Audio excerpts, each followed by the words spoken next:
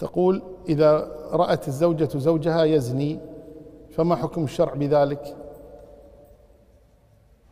يعني ما حكم الشرع في ذلك أنه إذا زنى الإنسان والعياذ بالله أنه إذا أمكن أن يشهد عليه أربعة شهود رجال على هذا الزنا فإنه يقام عليه حد الرجم. وأما إذا لم يشهد عليه الشهود فإذا المرأة جاءت واشتكت عند القاضي واتهمته بالزنا فإنها يقام عليه حد القذف إذا لم يكن أربعة شهود يقام عليه حد القذف. والحل في مثل هذه الحال أن تطلب الطلاق أن تقول أستر عليك تستر علي ولن أتكلم فيك ولكن طلقني طالما أنك مستمر على هذا الفعل.